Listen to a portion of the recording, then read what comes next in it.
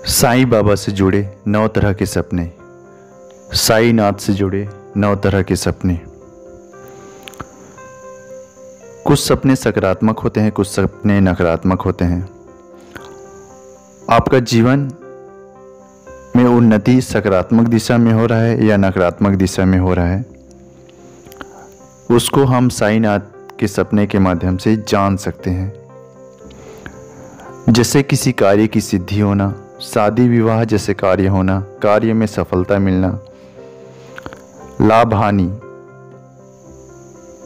भगवान साईनाथ के सपने से पता किया जा सकता है।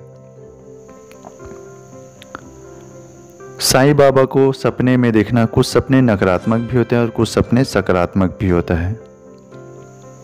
निर्भर करता है कि आप किस तरह के सपने देख रहे हैं भगवान साईनाथ के बारे में। ओम साईनाथ। स्पिरिचुअल वर्ड में आप सभी का हार्दिक स्वागत है। अगर अभी तक आपने इस चैनल को सब्सक्राइब नहीं किया है तो प्लीज़ सब्सक्राइब कर लीजिए और सब्सक्राइब करने के बाद बेल आइकन को ज़रूर दबाएँ ताकि भविष्य में कोई भी वीडियो अपलोड हो तो आप सभी तक पहुँच सके और आपको उसका पूरा पूरा लाभ मिले।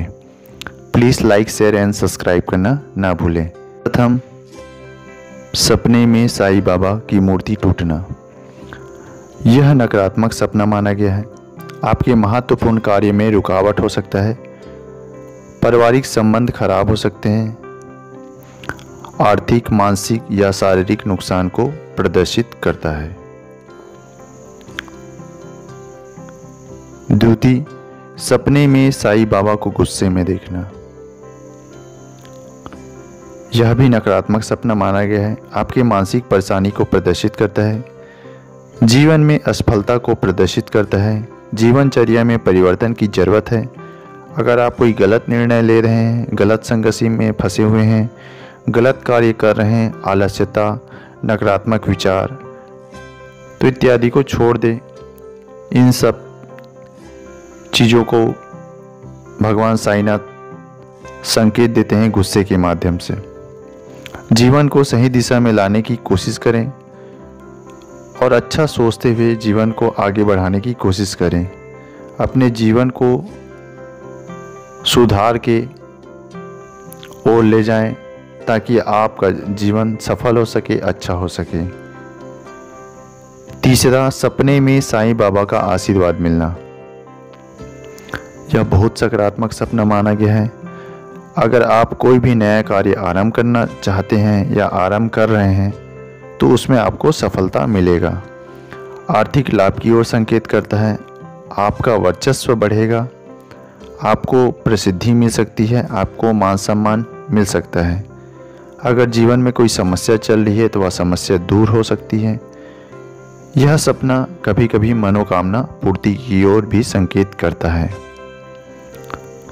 चौथा, सपने में साईं बाबा का मंदिर देखना। यह बहुत सकारात्मक सपना माना गया है। आपका शुभ समय जल्द आने वाला है। कोई इच्छा बहुत दिन से रुका हुआ है तो वह इच्छा पूरी हो सकती है। जैसे जॉब लगना, विवाह होना या किसी कार्य में सफलता मिलना। यह सपना आपके सौभाग्य, सुख समृद्धि का सूचक भी माना गया है।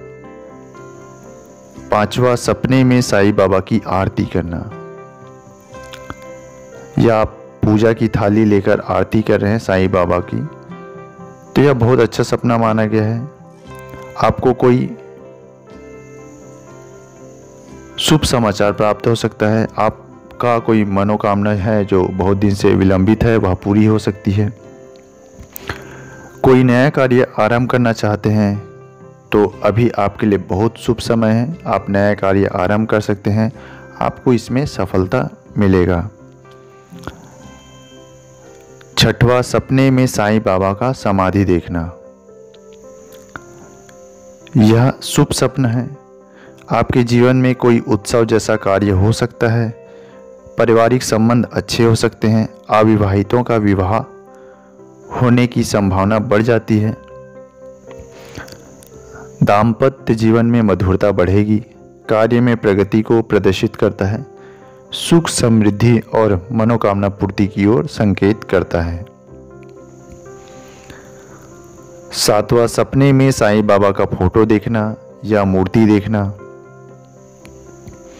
यह सकारात्मक सपना माना गया है। यह सपना रोगों को नाश करने वाला, समस्याओं को नाश करने वाला माना गया है। आपका स्वास्थ्य अच्छा रहेगा। अगर आप कोई कार्य कर रहे हैं तो उस कार्य में आपको सफलता मिल सकता है। आठवां सपने में साईं बाबा से बात करना।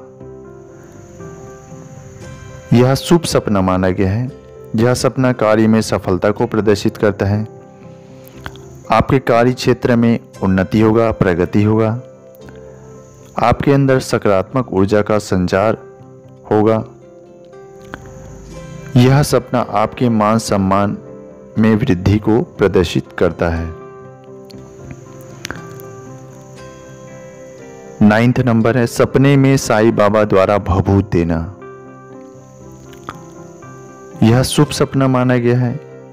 जीवन में परेशानियों का अंत होगा, रोगों का नाश होगा, सुख समृद्धि सौभाग्य की ओर संकेत करता है। कार्य में सफलता को प्रदर्शित करता है। कोई मनवांछित इच्छा है, जिसमें आपको अभी तक असफलता मिलती रही है, उस कार्य में आपको सफलता मिल सकता है। आज के लिए इतना ही। धन्यवाद। ओम साईनाथ।